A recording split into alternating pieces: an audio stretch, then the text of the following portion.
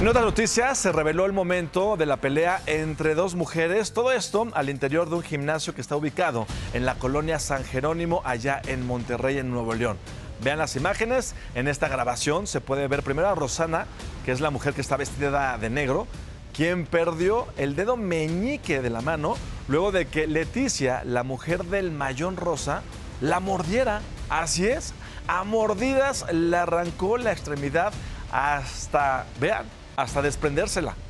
¿De qué estamos hablando? O sea, imagínense el nivel de violencia. Estas dos mujeres peleándose y a una le arrancan el dedo meñique de una mordida. La discusión habría iniciado por el uso de uno de los aparatos del lugar. Aunque algunas personas intentaron separarlas, los jaloneos continuaron. En otro momento del video, la joven de negro toma del cabello a Leticia, que está en el suelo, e intenta jalarla. Al parecer, en ese instante es cuando Rosana se percata pues, de que ya no tenía parte de su dedo y se le puede ver mostrando su mano derecha.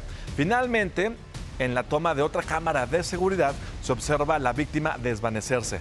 Por este hecho, ambas mujeres quedaron a disposición del Ministerio Público y un juez determinó vincular a proceso a Leticia N por el delito de lesiones de reña.